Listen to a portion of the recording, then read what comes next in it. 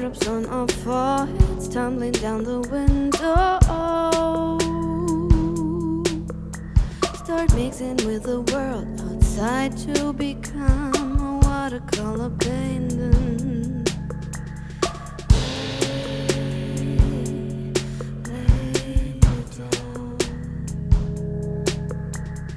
Cheek to cheek like children playing an exciting game.